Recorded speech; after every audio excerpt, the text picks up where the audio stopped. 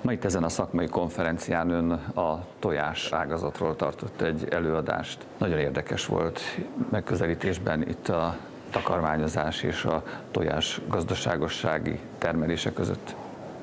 Elsősorban azt próbáltam bemutatni, hogy milyen fajta kihívásokkal találkoznak a tojás piacon résztvevők, ugye a tojás termelésben, mik azok a, a problémák, amik elég gördülnek ezen az úton.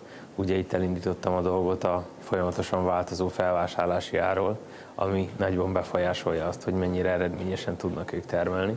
Ugye itt a fogyasztási szokásokat megemlítve, meg sajnos a világpiaci történéseket, a, amik mostanában történtek a piacon, vagy az egész világon, amik befolyásolhatták ezt a felvásárlási árat, meg nyilván a fogyasztási szokásokat is.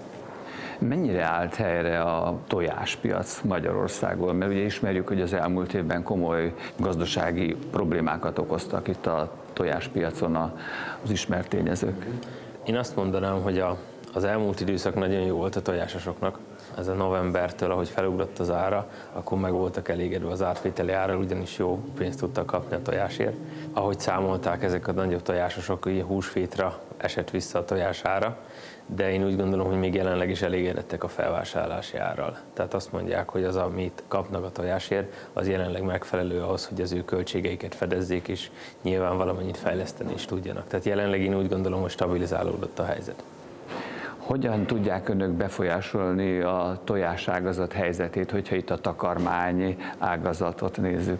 Befolyásolni maximum úgy tudjuk, hogy stabil, stabil termelést biztosítunk nekik a takarmányainkkal, tehát olyan takarmányokat adunk nekik, amelyek hosszantartó, biztos termelést nyújtanak és ezzel segítjük őket magyarán abba, hogy az ilyen piaci körülmények között is stabilan tudjanak termelni.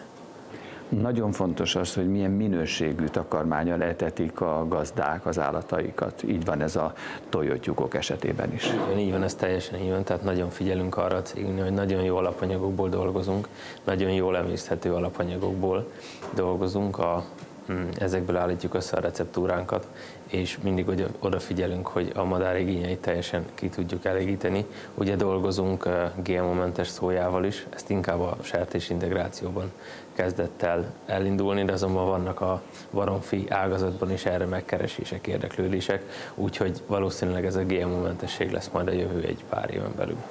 Mi a céljuk egy, egy ilyen konferenciával, mint a mai konferencia? Hát mindenképp azt szerettük volna, hogy minél több partnerünk eljöjjön, és kapjon valami tudást, valami segítséget, amivel eredményesebben tudnak majd ők, ők termelni.